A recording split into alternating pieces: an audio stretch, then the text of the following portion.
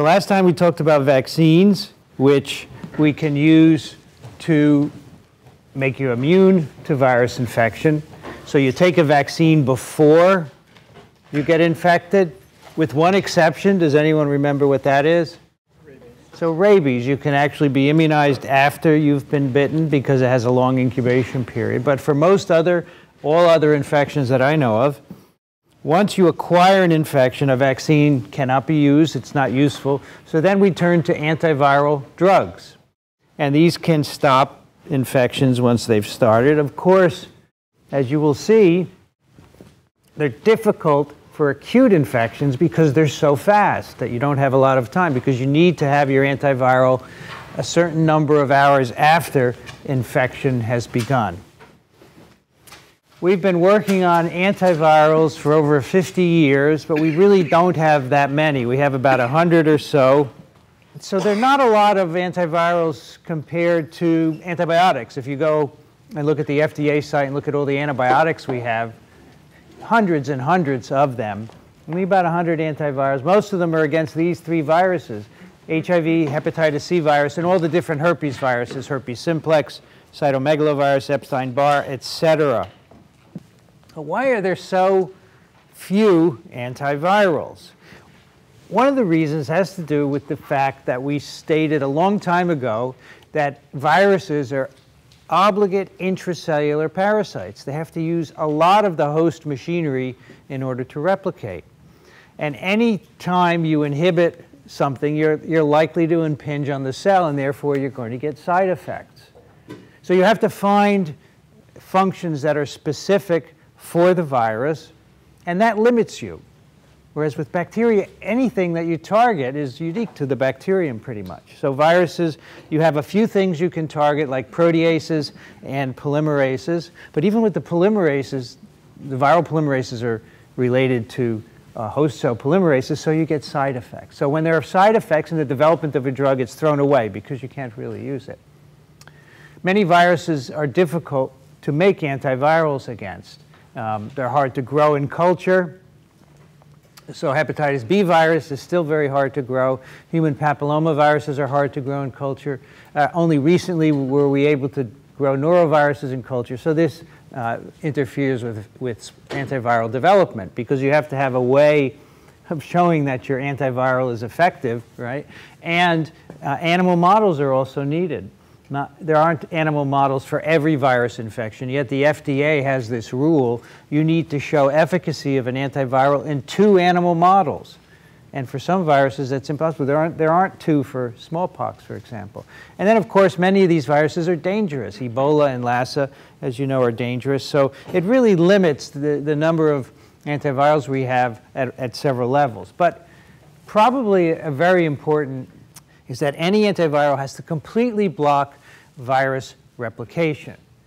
Now, most of the pharmaceuticals that we take, not antivirals or antimicrobials, aren't 100% efficacious. You know, so whatever it is that Tylenol does to you, it isn't 100% effective at doing that, but you don't need 100%. It's still good enough to be 75 or whatever percent effective. But viruses, the antivirals have to be 100% effective, otherwise you'll get a little bit of virus replication, and you'll select for resistant mutants. You know, so Tylenol, if you have a little bit of a headache left, it doesn't really matter. You still feel better, to make the analogy. But it's not good for antivirals. You're going to get resistant mutants. So you have to have very, very strong inhibition. It has to be very potent. And it's really hard to do. So here's an example of this. Here's virus replication. Uh, this is in an animal of some kind uh, over time, and the drug is given, and you see there are three different doses of drug, and the red lines are viral replication or the amount of virus present. So if you can see, if you give the good amount, the optimal dose of the antiviral blocks replication, but if you give an intermediate dose, you get a little bit of replication, uh, and then very quickly resistant variants emerge, and you get a lot of replication, and even more so with a low dose. So in a person or an animal, if your drug isn't 100% effective at inhibiting virus replication, uh, you're going to get resistant mutants. It's simply not going to work. So partial activity isn't an option. Another reason why we have so many, so few antiviral drugs is that acute infections are difficult to diagnose and treat. Now, one of the problems is that they're short in duration, right? Influenza, uh, the infectious period is done very quickly, and often by the time you're sick, by the time you feel sick, it's too late to treat with an antiviral. All right, so too sick, and also we don't diagnose them, uh, which is in part because it's too hard to, uh, to treat people. But once we develop rapid diagnostics, we'll see many more drugs for acute infections like noroviruses and rhinoviruses and influenza viruses. Now, one approach to this issue so as you know, we've talked about acute virus infections. They're, they're big public health problems because they spread rapidly through populations. So we'd love to have ways to uh, inhibit them with antiviral drugs. One approach would be to give people uh, drugs prophylactically. So if there's an outbreak here at Columbia of, of a viral infection, right, you could give everybody an antiviral drug and that should stop spread. But this is not a good idea. We generally don't like to give antivirals to healthy people. All right, it, that's only going to help select for resistance, and if you have any side effects, it's going to amplify it. So having a broad antiviral might help, but in certain outbreak situations, but in general, you just don't want to give everyone a, a broad spectrum antiviral. Now, speaking of broad spectrum antivirals, as you know, there are broad spectrum antibiotics. If you have an infection, a physician can start you on one of these before knowing what the actual bacterium is that's infecting you. We don't have any such things for viruses. A couple of years ago, this compound was developed, uh, LJ1001. This was developed by a virologist here at Mount Sinai. His name is Ben Hur Lee. I love his name. He's really a cool guy.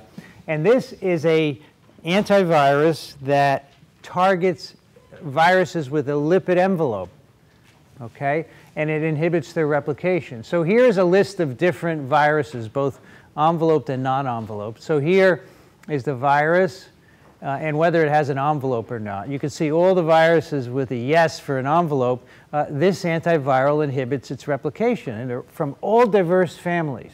So this is almost a broad spectrum because it hits a lot of different viruses. It does not inhibit uh, adenoviruses, picornaviruses, or reoviruses which don't have envelopes. The way this compound works is that it inserts into the lipid membrane of the virus and trashes it. It basically breaks it up. So here is the structure of this compound. And this, these are three electron micrographs of vesicular stomatitis virus particles uh, treated with this antiviral. So here's uh, virus particles treated with just the, uh, the solvent DMSO. Um, and this is another antiviral that has no activity. You can see the particles are intact. But here are particles treated with LJ001. The envelope is gone. All that's left is nucleocapsid. So this antiviral trashes the envelope. It breaks it basically and kills infectivity. And I talked with Ben Hur a while ago about this. He doesn't think this will ever be licensed because they really don't understand uh, how it works and whether there would be any toxicity and so forth.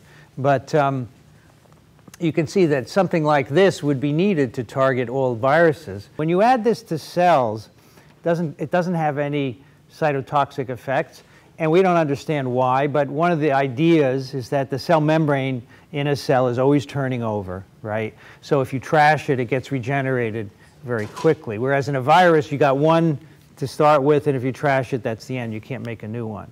But this kind of uncertainty is one of the reasons why this, this compound won't get uh, approved.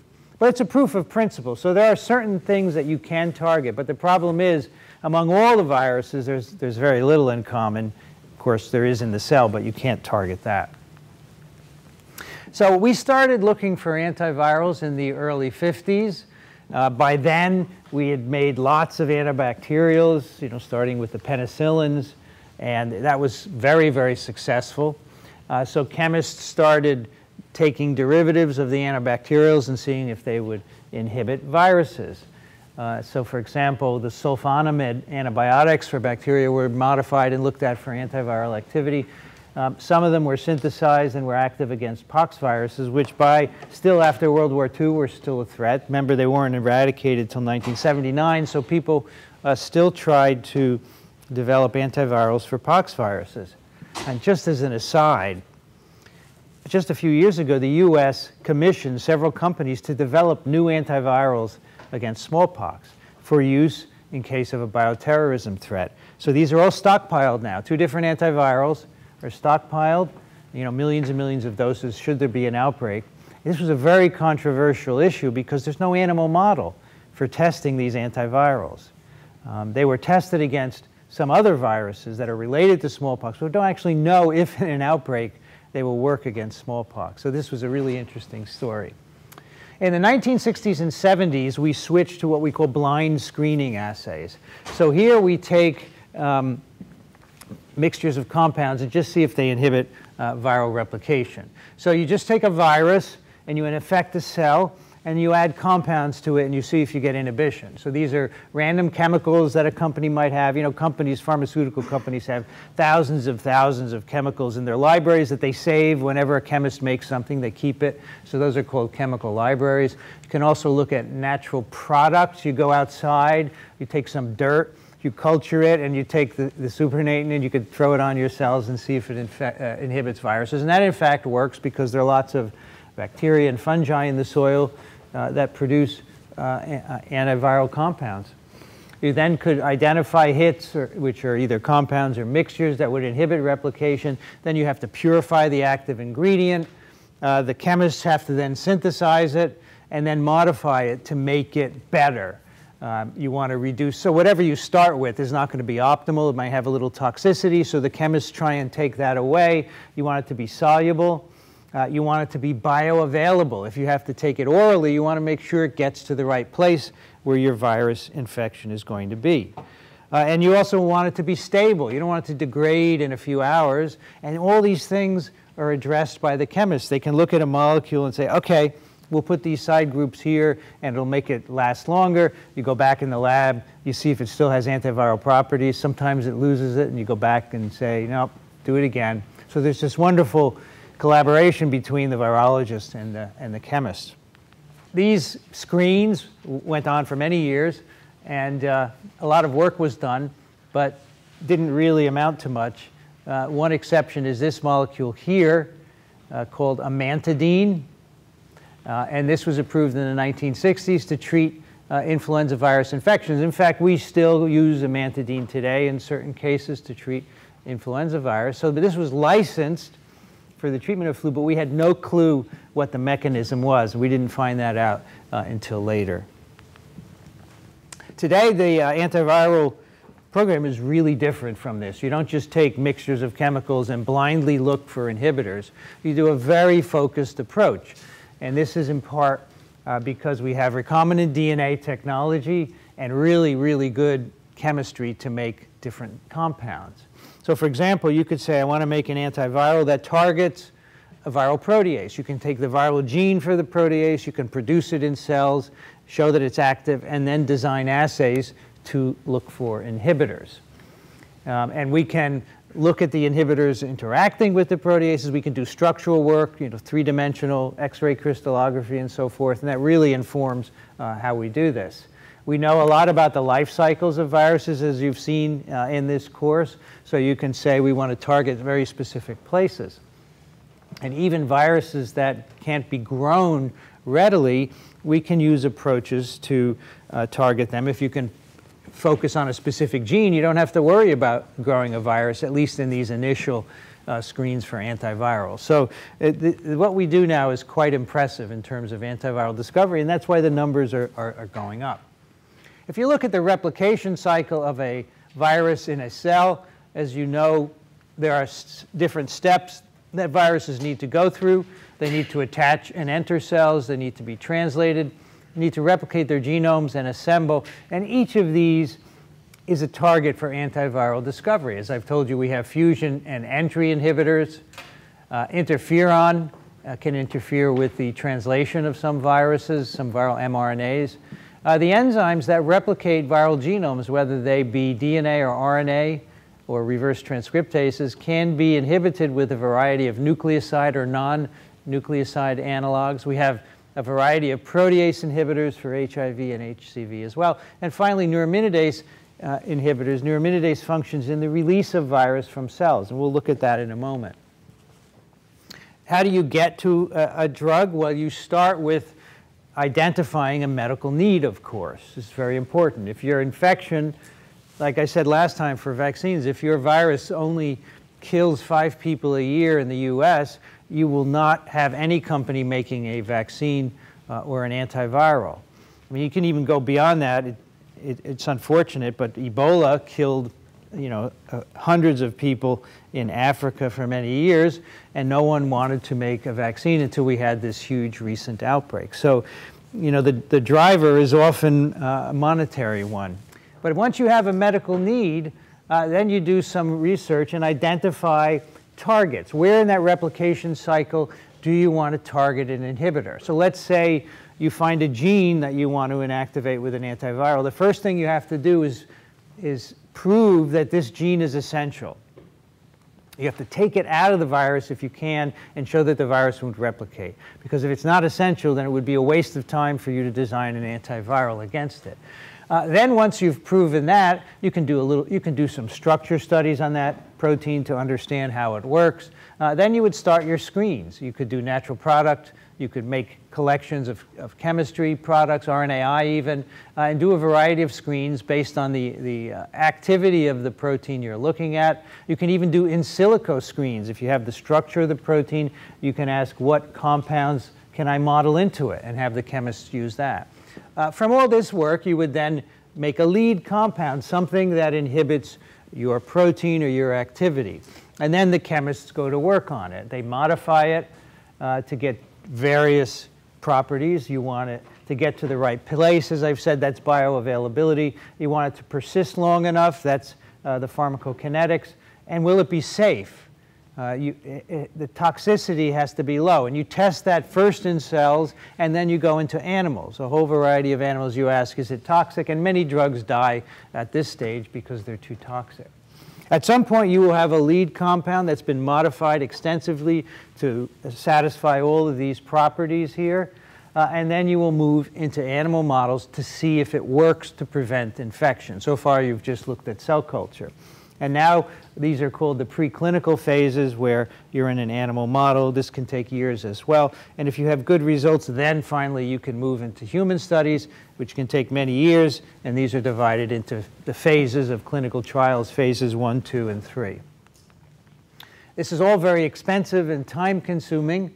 And uh, if you can start with 100,000 or so compounds, uh, you reject many of them because they don't have antiviral effects. You reject many on early on for, for toxicity.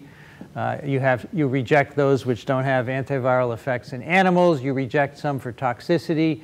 If you're lucky to get into humans, uh, you probably wouldn't put anything into humans that ha had a bad profile in animals. But sometimes a drug, when placed in humans in a phase one, which is just for safety, few, few numbers of people, you will find toxicity as well, and you have to end the program.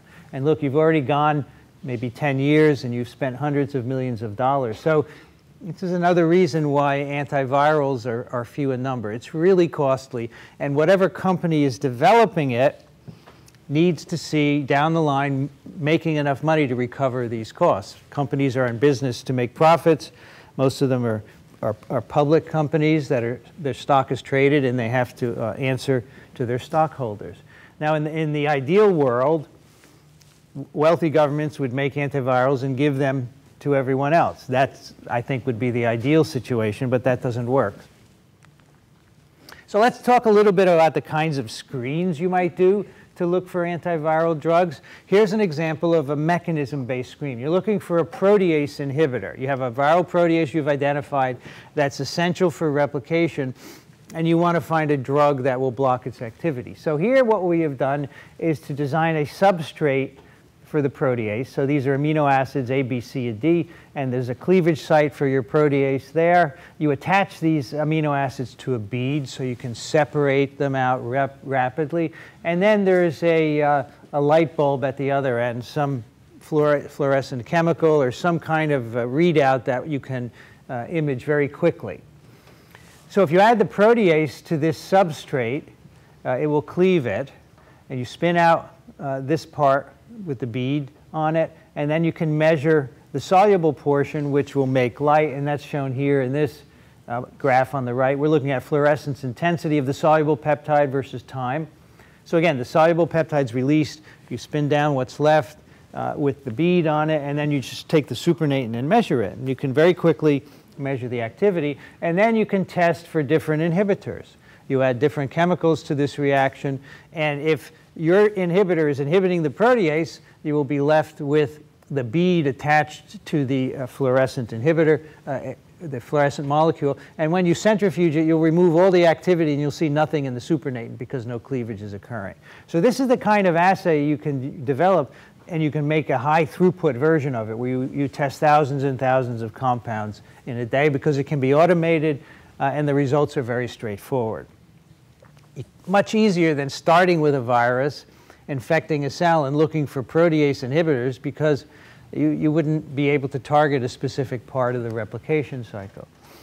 So here's an example. That was a in vitro screen where we just have purified material. Here's an example of a cell-based screen where you can use bacteria to look for antivirals. So in this case, what we have here is a tetracycline uh, efflux protein. This is a protein in the membrane of tetracycline-resistant bacteria. Tetracycline, as you know, is an antibiotic. It inhibits bacteria. If the bacteria carry this efflux protein, it pumps out the tetracycline as soon as it gets in, so it makes the bacteria resistant to the antibiotic. What's been done here is to engineer an HIV protease cleavage site in one of these loops in this efflux protein. You can see it's a multiple transmembrane protein. And someone years ago found that these loops are essential for activity, so you can put an HIV protease site in here. And then it will be cleaved when you produce the HIV protease in these bacteria, it will cleave this protein and it will make the cells sensitive to tetracycline. So for example, if we have um, the, the, HIV protease produced in these cells, it will cleave the efflux protein. And if you plate the bacteria on agar with tetracycline, you won't get any colonies. So this is a really nice readout. Do you get colonies or not? Uh, if you have now added an inhibitor of the protease, it prevents cleavage of this loop, and now you will get colonies, bacteria growing in the presence of tetracycline. So again, a very rapid way to screen many, many compounds to see if you can inhibit this protease activity. There are many more like this that have been designed. Uh, of course, many of them are proprietary we don't know about because the companies won't tell us, but people can be very clever with this. How about the compounds themselves? You can, you can screen many compounds with these approaches. Uh, as I said, co companies have chemical libraries, every compound they've ever made for whatever use over the years. You can screen uh, in these, and you can screen many compounds a day. You can still look at natural products. You have to go outside and collect things and grow them and make broths from them. You can do combinatorial chemistry. There's some very clever chemistry that's been developed where you can design uh, thousands and thousands of different molecules uh, which you can then use in your screen. And here's one example where you use uh, different linkers and attach to them uh, different fragments. So uh, here are the linkers here, and then you attach different fragments, which are chemical side groups Uh, of various sorts, and you can make a whole matrix of this very quickly, and you can then test those for binding to your antiviral in your assay You can also do structure-based design. You can use the three-dimensional structure of a protein determined by X-ray crystallography to tell you what the chemical should look like. So if you're lucky and you have the ligand, the natural ligand, inserted into the protein, you can try and mimic that chemically. Can also do what's called in silico screening. You let a computer take the active site of a protein and design molecules that will fit in, and then the chemists can follow up and actually make them and see if they work. And this has actually uh, turned out to be fruitful in a number of cases. The screening we do today is all roboticized. You have screening done in plastic plates with many, many wells in them. You've probably heard of 96 well plates. Well, this plate has over a thousand. And because you can do these assays individually in these plates and put a different compound in every well, for example, everything is added uh, to the plates by a robot. There's no, no person standing there with a pipette man and putting a thousand.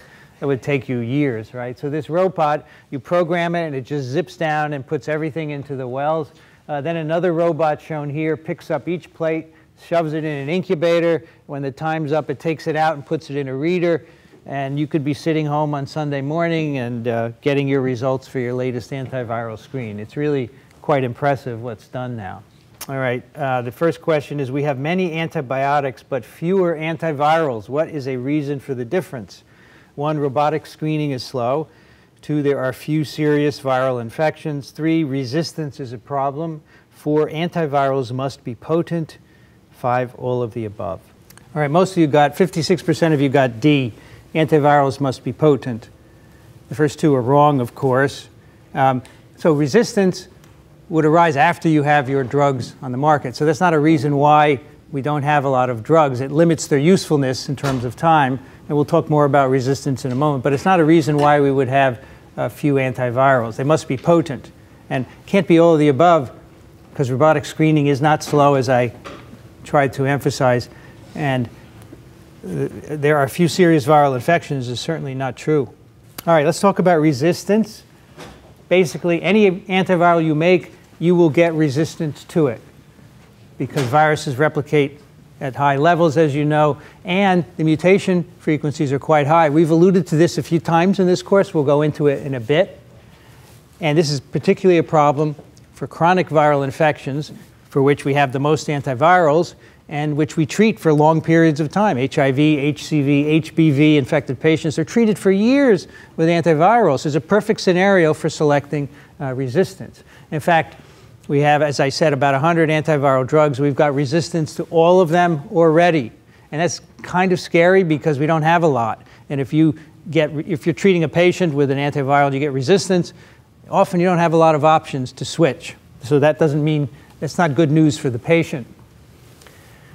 Patient can't, you can't treat with the same drug, obviously, if you get resistance. So what happens would in HIV, in the early days, you would treat the patients, they would get better as measured by the rise in their CD4 T lymphocyte counts, and then all of a sudden they would crash and you would have resistant viruses in them. Um, if you don't have another drug, as we didn't in the early days of HIV therapy, you can't stop infection. Now, the good news is when you get resistance, we can study it and we can figure out what is going on. And sometimes this helps us to make new antivirals or do things to get around it, as you will see. Now, RNA viruses, all nucleic acid polymerases, of course, are error prone, and RNA viruses don't have error correction mechanisms, so they make the most errors of any polymerase. Uh, one misincorporation in 10,000 to 100,000 nucleotides. And that's about a million times greater than, host, than the, the mutation frequency of our genome. And and so that means in a, in a genome of 10 kb, an RNA genome of 10 kb, you get uh, one mutation in 1 to 10 genomes. Every time the genome replicates, in fact, you get at least one mutation. Now, DNA polymerases, uh, they also make mistakes, just like RNA polymerases, but there are mechanisms for removing misincorporated nucleotides and replacing them. So polymerases uh, will make mistakes shown by this mismatch here. We have a polymerase copying a strand of DNA in, in right to left direction. And there's a, an error made, which happens with some frequency, but we have exonucleases and systems that detect the errors. They will chew back the mismatch and fix it. So for that reason, DNA viruses make fewer errors and they evolve more slowly as a consequence. So uh, resistant, resistance is still a problem with DNA viruses, but far less so than for RNA viruses. Let's talk about uh, some specific antivirals now, and we'll talk a little bit about resistance in the context of them. Now, in the middle of this slide, which is shaded yellow and you can't see well, are the four bases A, G, C, and T. And of course, this would be for DNA. If it, would be, if it were RNA, it would be U. And around them are, are shown many of the uh, nucleotide analogs, nucleotide or nucleoside, depending on the phosphates present, uh, which have been synthesized as inhibitors. So you can see there are derivatives of A and G uh, and T and C of different sorts. And they have different mod chemical modifications, which are shown in red, which make them different from the original nucleotide. and that is what makes them effective inhibitors. So let's look at uh, acyclovir, which is a very good anti-herpes simplex virus drug. So acyclovir is a derivative of guanosine. You can see the ribose sugar at the bottom here has been replaced uh, with a very different looking chemical, chemical moiety. That's called acyclovir, and there are also second generation derivatives called ganciclovir. We call acyclovir a prodrug because it has to be modified before it is active. So here is acyclovir on the left, again, the same molecule I just showed you. And in order for this to be incorporated by the DNA polymerase of the virus, this has to be phosphorylated. Now, typically phosphorylated uh, nucleosides can't be taken up into the cell. So if you give a, a non-phosphorylated form, which is what acyclovir is, this will be taken up into the cell, and then it will be phosphorylated in the cell. The beauty of acyclovir is that the first step of phosphorylation, the first addition, is done by a viral enzyme, the herpes simplex virus thymidine kinase. HSV1-TK. And only the kinase will do this. It's a very, very specific reaction. And then the cell takes over and adds the next two phosphates. Are two different kinases of the cell that add the second and third phosphate. So this makes this very specific for virus-infected cells because in an uninfected cell, that first phosphate will not be added, so there'll be uh, no inhibition. Once this compound is triphosphorylated, it can now be utilized by the viral DNA polymerase, and it's incorporated into DNA. But because most of the ribose ring is gone, there's no place to attach the second, the, the next triphosphate in the synthesis, and chain extension stops. So these are what we call chain terminators. They're incorporated by the polymerase into growing DNA, and then they cannot be added to, and so DNA synthesis stops. And here's guanosine for comparison. You can see the hydroxyl group there, which is where you'd add the next triphosphate or the next base. And that's simply not present in acyclovir, and that's why it's a good inhibitor. And of course, this happens, this inhibition, this chain termination only happens in virus infected cells because only the viral TK gene, the TK protein, which is a kinase, can add the phosphate to acyclovir. Now, this was a very successful compound, uh, but it wasn't very orally bioavailable. So for serious herpes simplex infections, you want to deliver the drug orally sometimes. And so what they did was simply to modify it. Here's a, acyclovir, and they added, added a valine uh, to this chemical moiety at the lower left, and that's called valacyclovir. And amazingly, when you take this orally, it's, it's very bioavailable compared with acyclovir. And after you take it orally, uh, the valine is actually cleaved off and the acyclovir is released, so you get very good levels in the blood. So it's an example of how you can do chemistry after the original compound and make the compound better. Yes? Um, was the acyclovir in ointment form? Was it topical? It can be, yes. It can be topical. If, if you have encephalitis, it could be injected. But there were some cases where they wanted to give it orally. It wasn't working well, so this was made, and this is much more bioavailable. So if you're going to get an oral herpes medicine, you'll get valacyclovir, otherwise acyclovir or, or ganciclovir as a topical ointment even today. Now, we do uh, see some acyclovir resistance, especially in people who use this long term. They, they, these mutants uh, occur, and some of them cannot phosphorylate the prodrug, and they're in the TK. All right, so TK changes, the TK changes just enough so it doesn't phosphorylate uh, acyclovir and it's resistant because it's not incorporated. Uh, there are also some mutations in the viral DNA polymerase. These have normal TK, they phosphorylate acyclovir, but then the polymerase has an amino acid change that prevents it from using acyclovir uh, as a triphosphate, so there's no ter chain termination. All right, so these are two different kinds of mutations that were, that were discovered in the study of acyclovir resistant mutants, and it allows you, if you want, to go on and, and make modifications that might uh, get around that. Now, uh, these are a real problem in AIDS patients. AIDS patients, of course, are immunosuppressed as a consequence of HIV infection, and one of the infections they often get are very serious herpes simplex virus infections. You want to treat them with acyclovir, and they often develop resistance. Um, and if that's the case, it's a real problem because the alternative is a drug called foscarnet, which is shown at the upper right. Um, this is a DNA polymerase inhibitor, but it has serious, more serious side effects. Acyclovir is, is a very good drug in terms of very, having very low side effects. Foscarnet is not. And sometimes the uh, mutations in the DNA polymerase that give rise to acyclovir resistance also confer foscarnet resistance. In that case, you have no way to treat these patients, and they're likely to die of disseminated uh, herpes simplex infection. So it just underscores the serious nature uh, of resistance to antivirals. Uh, the other drug that I wanted to talk to you about is, is Symmetrel or amantadine, which we talked about, discovered in the early 60s. In the 90s, it was found that it inhibits the viral M2 protein, which is an ion channel. If you remember the entry of influenza virus into cells, the virus binds a cell surface receptor, it's taken up into the endosome, and eventually the pH of the endosome drops. That drop in pH is mediated by protons that are pumped into the endosome interior.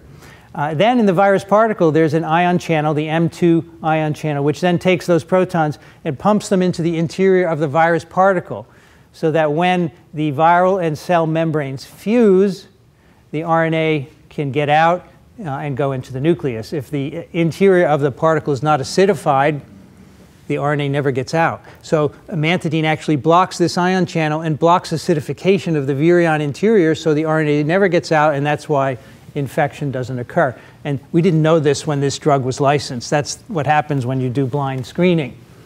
So here's a drawing of this drug and the M M2 ion channel. So this is the virus membrane in tan colors, and these blue uh, alpha helices uh, are the M2 ion channel. It's a tetramer of four polypeptides. And again, the ions move through this channel into the, from the endosome into the interior of the virus. And amantadine uh, can plug this channel or bind at the exterior of the channel, and that blocks protons being pumped into the interior. Now we can get resistance to this compound very readily. We get amino acid changes in the M2 that prevent uh, amantadine from binding either in the channel or at either side. And we don't use this drug for flu anymore because we have widespread resistance, resistance to which antiviral would involve amino acid changes in a viral enzyme. Acyclovir, amantadine, LJ001, penicillin, or all of the above. Okay, the right answer is uh, acyclovir, which 70% of you got. I'm glad none of you picked penicillin. Is that an antiviral? Good. LJ001 is a antiviral that does what? Hits membranes. Amantadine interacts with what? The ion channel. It's not an enzyme, right? It's just a channel. So that's not right. It's acyclovir. And what is the uh, enzyme that would show resistance to acyclovir? Remember? TK, TK right. That, that amantadine is useless for influenza virus, but we have some other uh, influenza virus inhibitors, and they inhibit the neuraminidase. Uh, the neuraminidase is one of the two glycoproteins on the surface of the virus particle. It's actually an enzyme, and its activity is to cleave sialic acid off of cell proteins, and sialic acid is the receptor for the virus.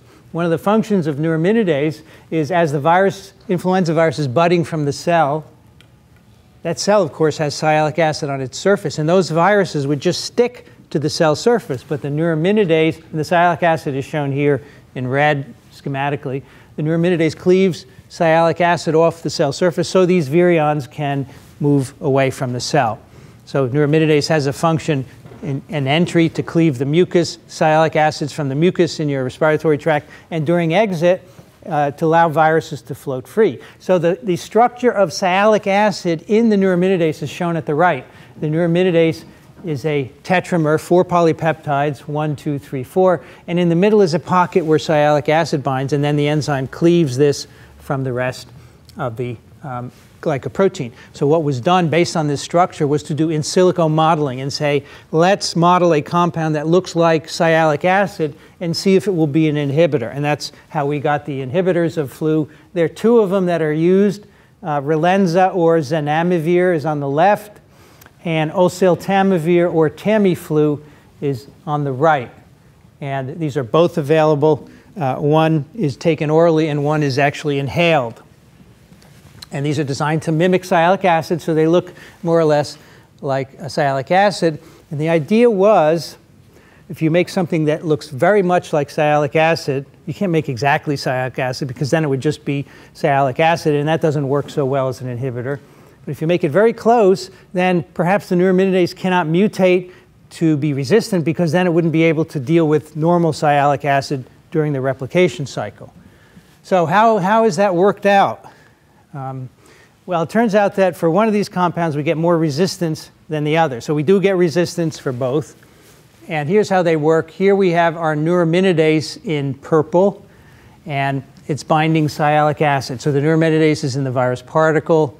Uh, it's, it's, as the particle is released, it's binding sialic acid and cleaving it so the virus particles can leave the surface of the cell. Oseltamivir and zanamivir block the active site and inhibit the neuraminidase so that it cannot cleave sialic acid from the cell and the viruses stay stuck to the cell surface. So this inhibits replication. But you can see by this cartoon that zanamivir, and the, the other name for zanamivir is Relenza, more closely mimics sialic acid than does oseltamivir, shown by these cartoons. And what, in terms of resistance, you get more resistance to oseltamivir, Tamiflu, than to zanamivir. You get amino acid changes in the neuraminidase that block binding of the drug, uh, but they don't affect binding of the neuraminidase to sialic acid. Okay, so those are viable mutants, whereas it's harder to get zanamivir mutants.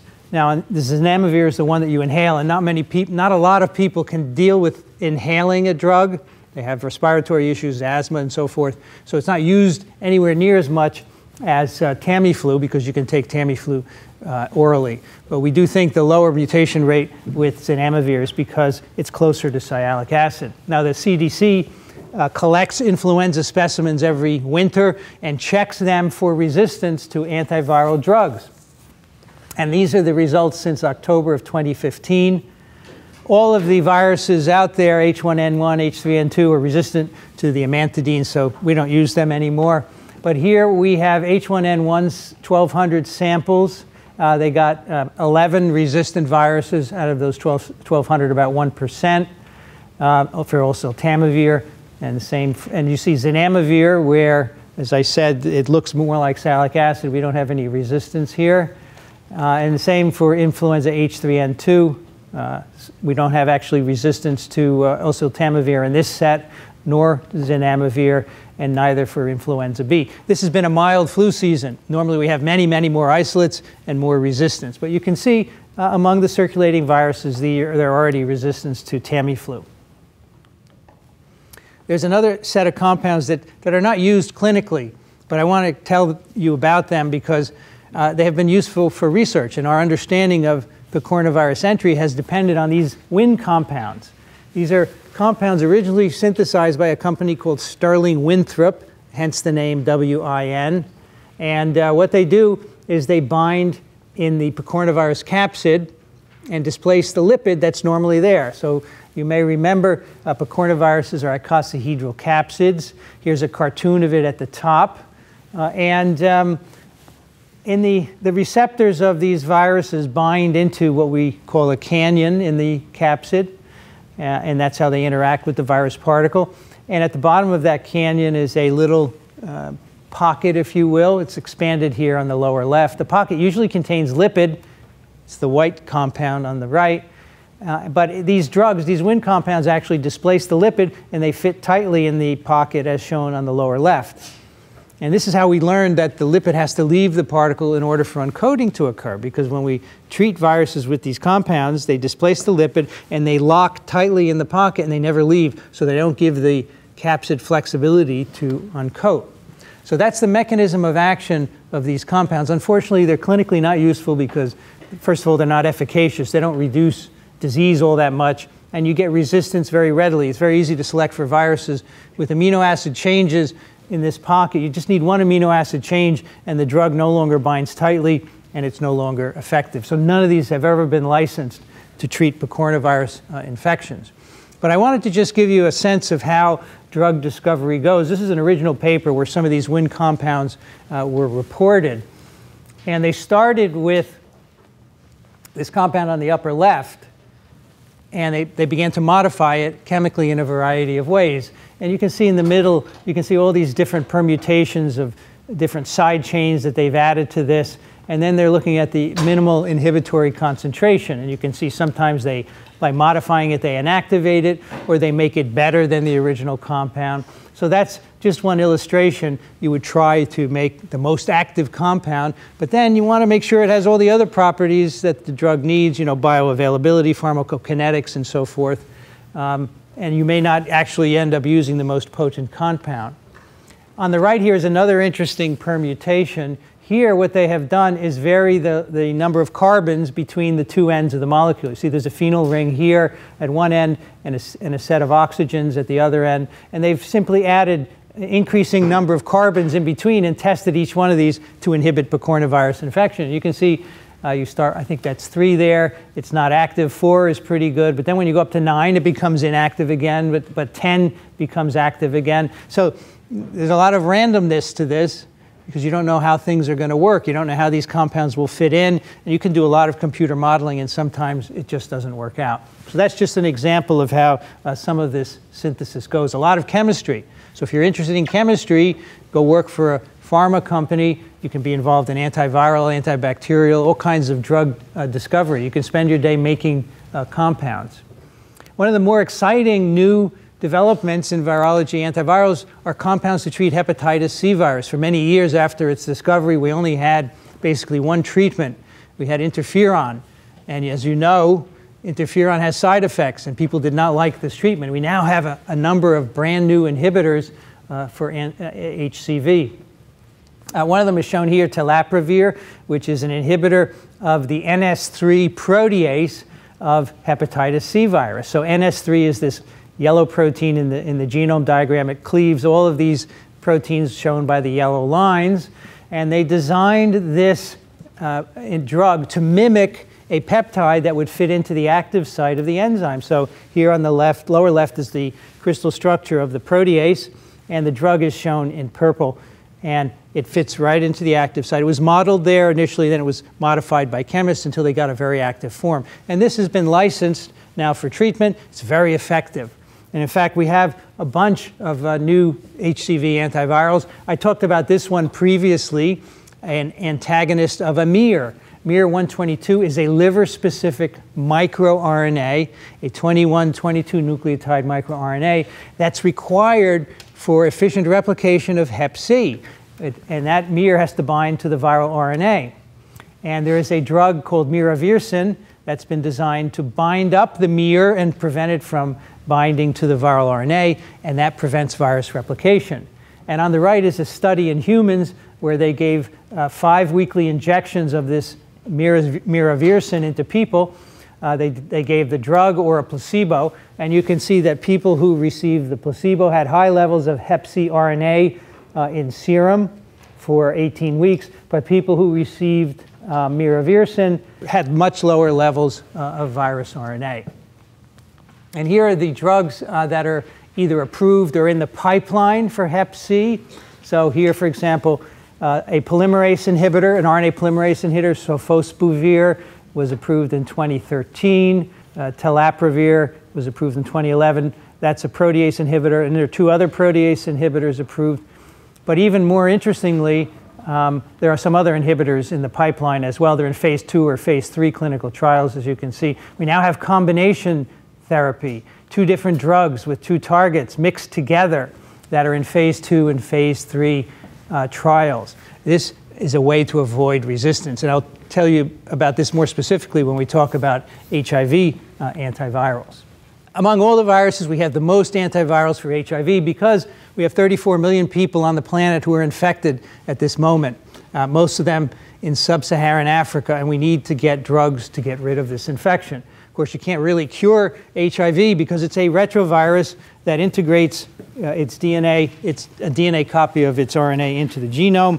And as you will see later, uh, the cells in which it's integrated persist forever in you, and we can't get rid of them. So even though the antivirals work well, they reduce your virus load and they make you healthy. You can never get rid of infection. So this slide shows you all the different targets within the cell that we have antivirals. We have antivirals that block attachment and entry, fusion. We have reverse transcriptase inhibitors. We have protease inhibitors, and we have integrase inhibitors. So that's the life cycle of HIV, uh, release of RNA, reverse transcription and integration, and maturation and production of particles. We have every step of the cycle, we've got something. And this is because people spent a lot of time, a lot of companies spent a lot of time working on this, a lot of academic labs as well, and we had a history of studying retroviruses for years. Because since Rous discovered Rous sarcoma virus, people had been working on retroviruses and we understood all this basic science. So as soon as HIV was discovered, we knew exactly how it worked and all the different parts of the replicative cycle, and we could start making uh, antivirals right away. Now, problem with AIDS is that you can be infected for 10 or 20 years. The virus continues to replicate, and it's always spawning mutations. And this is a problem for antiviral therapy. First antiretroviral drug was AZT. Anybody see the Dallas Buyers Club? Fantastic story of AZT. The first drug and you know some people got it on trials. This is the cool part about that movie. They wanted to divide it up and share it. And it turned out that that was the way to go because the initial doses were too high. They were giving too much, and it was okay for them to divide up the pills and split it because eventually they realized they needed to use a lower dose. So the, the early trials were crowdsourced uh, in a way. Uh, so this drug was initially discovered as an anti-cancer drug, and it turns out to be a uh, nucleoside analog and a chain terminator. Here's AZT. It's phosphorylated by cellular kinases, and then it's taken up by the reverse transcriptase and acts as a chain terminator. So you can see it's chemically different. It's azido deoxythymidine. There's the azido group, the N3 right there. It's very different from a normal, right, which would have a hydroxyl here. And it's, once it's incorporated into the DNA by RT, uh, it terminates the chain extension. Now, this is phosphorylated by cellular enzymes, so it also gets into uninfected cells and will inhibit their DNA synthesis as well. So it has a lot of side effects, and that was the, one of the problems uh, with this drug. It has a lot of side effects. You can take it orally, but look, the half-life is an hour. This is really bad for a drug. And uh, you know, we were desperate initially, so this was licensed, but one hour is really bad. You had to dose patients two or three times a day, um, and they got so sick that they would stop taking it for a few days until they felt better, and then they would start again. And that's a perfect way to select for resistant mutants. Because you take the drug, you have a few mutant viruses that are present, you stop, they amplify, and then when you come back with taking your drug again, you can't inhibit them. So we got lots of resistance, and eventually we couldn't use uh, AZT anymore. After, immediately after licensure, single amino acid changes in the RT, uh, and these do not bind the phosphorylated form. So we started developing new analogs, and they're didanosine, uh, zalcitabine, stavudine, lam lamivudine, et cetera, you know, derivatives of I and C and T. And people started combining the drugs, and they used two at a time. But even with that, uh, within a year or so, we got resistance to both drugs. So obviously, two wasn't the solution. Uh, people started making other inhibitors, and these are called non nucleoside RT inhibitors.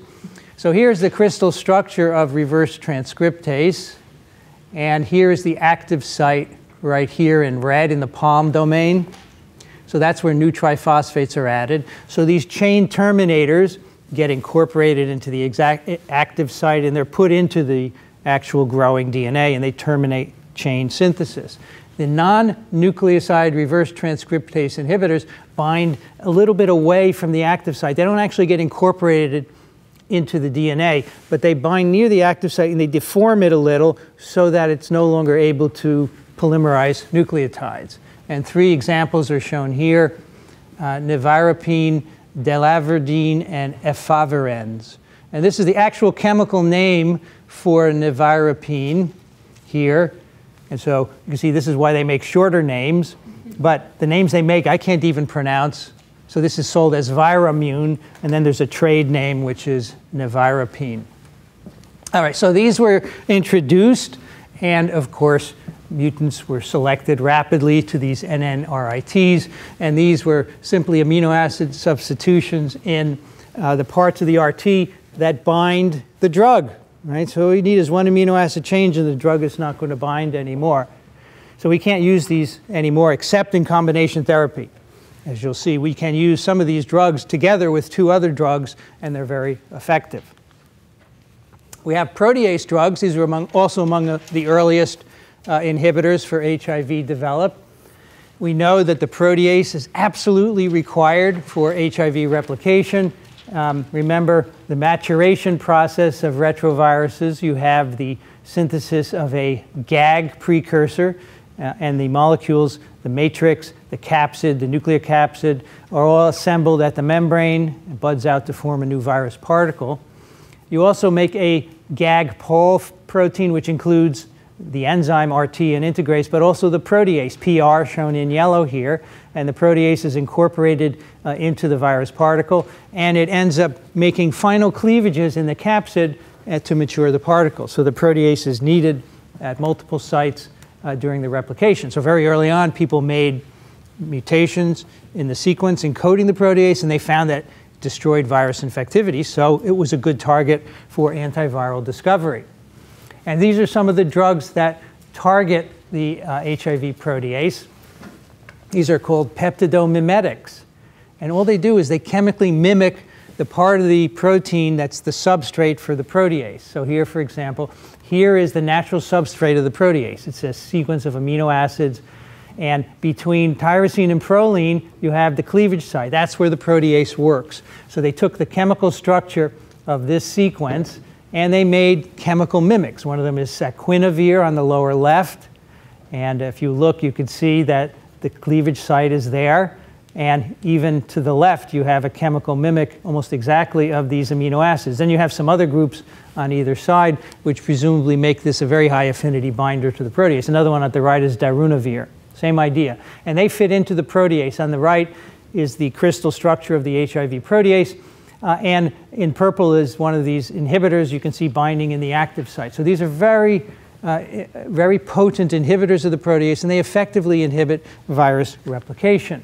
But of course, resistance to those are also encountered when you use them individually. So all of these inhibitors were initially developed, used on their own, and then resistance arose uh, within a year. They're also inhibitors of the integrase. Remember, the integrase is the other viral enzyme besides the RT H that's responsible for integrating the DNA copy of the retroviral genome into the cellular genome. So here, just to remind you, uh, we have double-stranded retroviral DNA on the upper right.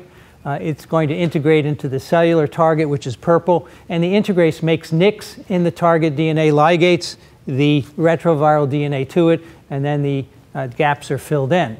So these two drugs, raltegravir and dolutegravir, they both inhibit the integration step precisely.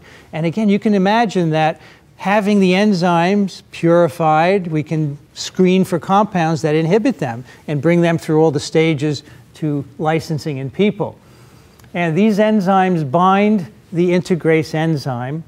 Sorry, these inhibitors bind the integrase enzyme. And on the bottom are a series of panels showing you uh, what these inhibitors do. So on the left, we have the structure of um, the integrase, which is in yellow. And in purple uh, is the retroviral DNA, the 3' end, which is about to invade host cell DNA. So this is going to, uh, the host cell DNA will be nicked, and this 3' end will be ligated to one of the host DNA strands and this is in the absence of drug.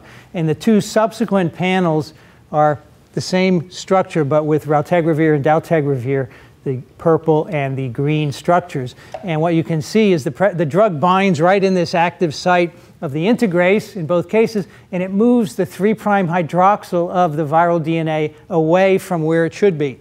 So the 3' end is kind of sticking out here in, towards you because the drug is in there interfering with it. So the 3' prime end of the DNA cannot any longer integrate into the host cell DNA. So that's how these enzymes work. They deform the active site so that the enzyme doesn't work anymore.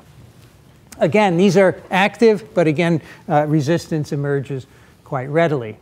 And one more I want to tell you, which is quite interesting Maraviroc, which is an inhibitor of CCR5. Now, CCR5, you may remember, is one of the two receptors that the virus needs to get into cells. It attaches to CD4 and then CCR5. Um, and you need both of them to get virus into the cell. And that's cartooned on the upper right. We see the viral glycoprotein GP120 binding to CCR5. Maraviroc is a small compound shown in yellow which binds CCR5 and it deforms the binding site on CCR5 for the viral glycoprotein. So you cannot get high affinity binding of the virus to CCR5 and you get very, very much reduced entry. So it's a really interesting concept. All the other uh, sites we've been talking about for inhibition so far have been enzymes, but here is actually a virus receptor, can be a target for an antiviral. And again, this works, but you get resistance when you use it in infected people. Okay, which of the following targets for HIV antivirals inhibits the earliest stage of infection? Nucleoside inhibitors, NNRTIs, CCR5 inhibitors, integrase inhibitors, or fusion inhibitors. All right, 68% of you got C, CCR5 inhibitors, and that, of course, is the earliest part of the infectious cycle. That's the binding of the virus to the CCR5 receptor. Everything else happens after that. Nucleoside inhibitors, and NNRTIs, that's way downstream when we're doing reverse transcription. Uh, integrase inhibitors is even farther downstream. And of course, fusion happens after receptor binding.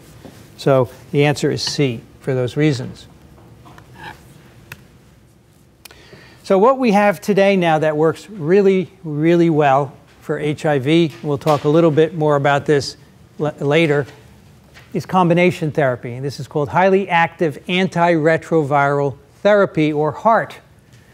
And in this way, we can actually treat HIV or AIDS as a chronic disease. We can treat people for their whole life, keep their viral loads low, and they can remain healthy and live presumably a full life. And many people have, have done so. We typically make a pill with three different inhibitors in it that target a different mechanism. And you've seen how um, we have antivirals against every step in the life cycle or the replication cycle of HIV, so it's possible to use this. So early on, the experience with getting resistance said to us we have to do something, and, and people thought of the idea of combination. First, they tried two different antivirals, that didn't work. We got resistance, but three seems to be the magic number.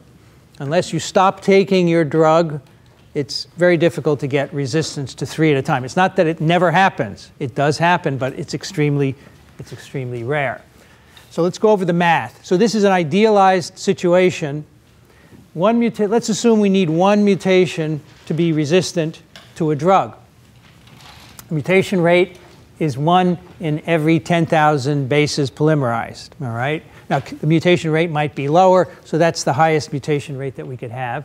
So in other words, every base in the genome is going to be substituted in a pool of 10,000 viruses if everything is random. All right, each base is substituted in every 10,000 viruses. This is the amazing part. Every person who's infected with HIV makes 10 to the 10th new virus particles a day. Huge replication rate. Okay, so doing the math, you're going to have a million viruses produced in a person, in an untreated person every day that is resistant to one drug. So that's why when you treat a person with one drug, you knock down uh, most of the viruses, but there are a million left, and eventually those grow out and overtake. And especially if they stop taking drug, those amplify very quickly. So this is why single therapy doesn't work, because there's so much virus production and it's so error prone every day. Two drugs, the developing resistance is 10 to the fourth times 10 to the fourth. So it's the same numbers that we used in the previous slide, 10 to the 10th over 10 to the fourth. Now we're doing 10 to the 10th over 10 to the eighth because we have two mutations. So the likelihood of getting two is the, is the product of the two frequencies. So we make 100 viruses a day resistant to two drugs. So you have now an, an untreated person. You treat them with two drugs. They still will have about 100 viruses uh, in them that are resistant. Eventually, those are going to grow out. And our experience is, in fact, that we treat people with two drugs. Within a year, we get resistance. Three drugs, 10 to the fourth times 10 to the fourth times 10 to the fourth is 10 to the 12th.